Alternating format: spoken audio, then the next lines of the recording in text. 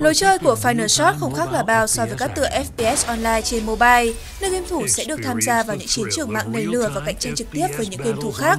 Nhưng điểm đặc biệt nhất của Final Shot lại nằm ở cơ chế báo thù.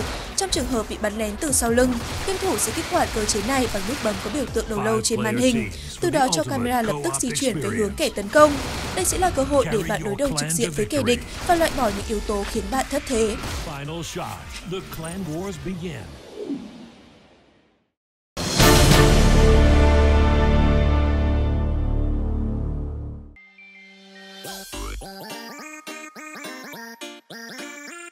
Trong Command the Game, người chơi cần đảm bảo mọi thứ diễn ra một cách trôi chảy bằng cách thực hiện nhiệm vụ như thông toilet, mặc quần áo cho các cụ già khỏa thân, thuê nhân viên, thu hút nhân vật cosplay, người nổi tiếng, dọn dẹp và nhiều hơn thế nữa. Điểm đặc biệt là game thủ có thể tùy chọn chủ đề để sáng tạo cuộc chơi theo cách của mình. Chủ đề game sẽ được bao quát đa dạng ở nhiều thể loại như viễn tưởng, kinh dị, siêu anh hùng. Tất cả các chi tiết đều vô cùng hoàn thiện để người chơi thử sức cũng như thỏa thích sáng tạo.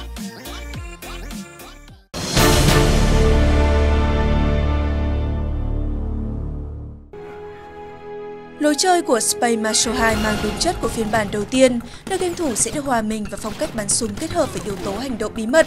Ở đó bạn sẽ điều khiển nhân vật với góc nhìn thứ ba từ trên cao, kết hợp giữa bộ cần ảo cho di chuyển và cơ chế giữ nhà để khai hỏa vũ khí. Như đã nói, Space Marshal 2 mang yếu tố hành động bí mật nên người chơi không thể chọn cách đi cả như thể chỗ không người, bằng không sẽ thấy mình khó lòng vượt qua ngay cả màn chơi đầu tiên.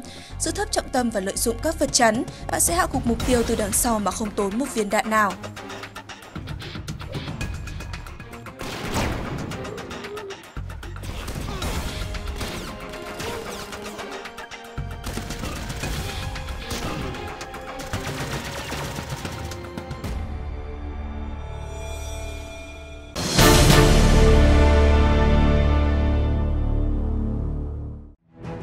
Bước chân vào thế giới Sacred Legion, người chơi sẽ có quyền tự quyết gia nhập Warrior, Archers hay Seraphim.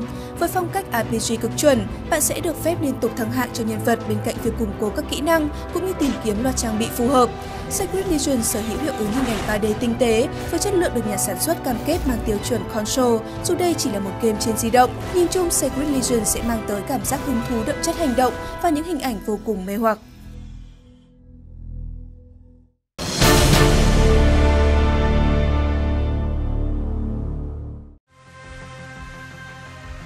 Riptide GP Renegade cho người chơi nhập vai và những tay đua bị chối từ từ liên minh Riptide. Game thủ có thể tự tạo một đường đua bất hợp pháp để lướt gió dưới lòng thành phố, phóng qua các di tích cổ hay vòng xe thăm loạt nhà máy tấp nập của thế giới ảo. Bên cạnh sự nỗ lực trong cuộc đua của game thủ, Riptide GP sẽ hỗ trợ hai project tối tân, nhân vật và rất nhiều chi tiết đặc sắc khác. Cuộc đua đồng thời cũng bao gồm đường tắt và bí mật dành cho những tay đua đủ may mắn và thông minh khám phá.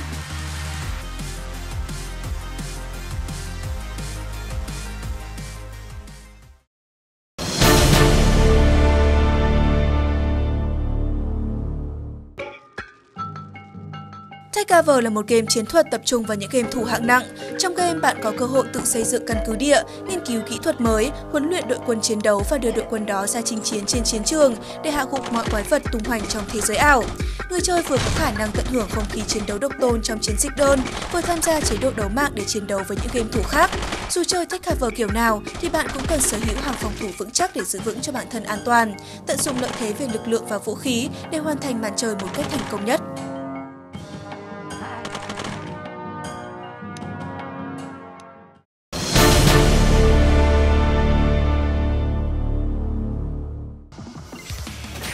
Strategic Mantafai sở hữu một số cơ chế RPG và không chỉ là một game pinball tiêu chuẩn thường thấy.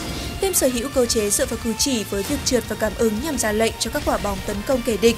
Giữa các trận chiến, bạn có thể quyết định điều gì cần thiết cho mình nhằm hoàn thành một số thử thách và kiếm điểm cộng.